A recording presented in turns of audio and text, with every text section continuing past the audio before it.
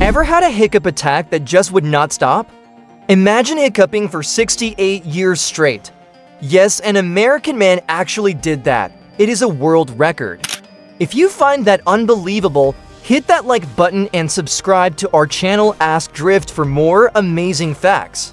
So why do we hiccup? It all starts with your diaphragm, the big muscle under your lungs that helps you breathe. Sometimes it gets irritated and spasms, pulling down suddenly. This makes you suck in air fast. But almost instantly, a little flap in your throat called the epiglottis snaps shut. That is what makes the classic hic sound. What irritates the diaphragm? Eating too fast, drinking fizzy sodas, or even a sudden burst of excitement can do it. Interestingly, scientists are still debating the exact reason we hiccup. One theory suggests it is a leftover reflex from our ancient, water-dwelling ancestors who needed to close their airways while breathing with gills.